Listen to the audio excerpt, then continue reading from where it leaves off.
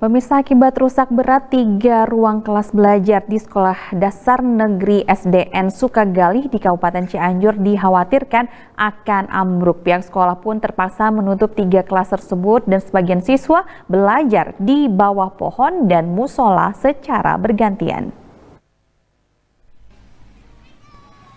Seperti inilah aktivitas belajar mengajar yang dilakukan oleh siswa-siswi di SDN Sukagali, Desa Mekargali, Kecamatan Cikalongkulon, Kabupaten Cianjur.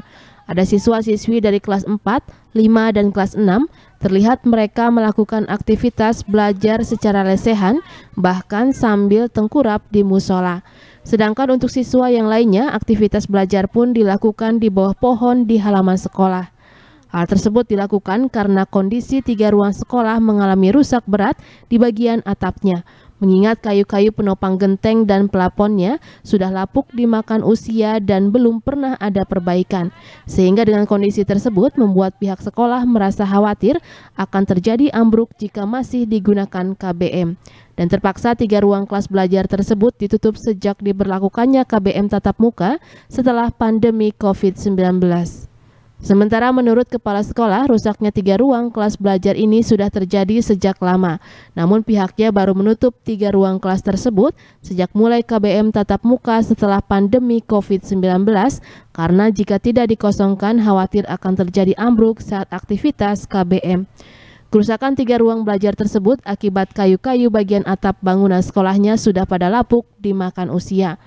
Salah satu siswa mengaku terpaksa mengikuti belajar yang dilakukan di musola dan di lapang namun merasa kurang nyaman belajar di musola karena dingin dari ubinya juga merasa pegal.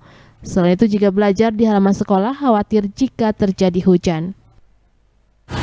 Kelasnya kenapa? Takut, eh kelasnya mau roboh. Rusak ya?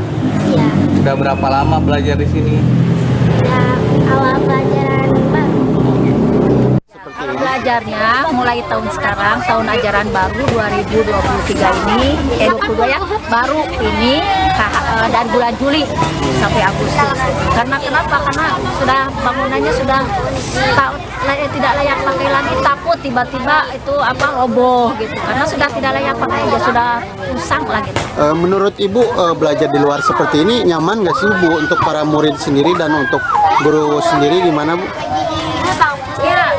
Ya, tidak, nyaman lah, tidak nyaman. Bagaimana bisa nyaman ya? Belajarnya juga seperti begini, anak-anak juga harus nulis bungkuk-bungkuk, jadi Pihak sekolah mengakui kondisi bangunan sekolah rusak tersebut sudah beberapa kali ditinjau oleh pihak-pihak terkait, namun hingga saat ini belum juga ada realisasinya. Untuk menyikapi hal ini, terutama siswa-siswa karena sekarang sudah ada surat edaran untuk pembelajaran secara uh, uh, seluruh siswa untuk melaksanakan pembelajaran di kelas, maka kami sebelumnya mengadakan rapat dengan komite dan orang tua siswa dan pada saat itu disepakati bahwa yang ketiga ruangan kelas 4, 5, 6 ini uh, ditutup. Heri Setiawan, Bandung TV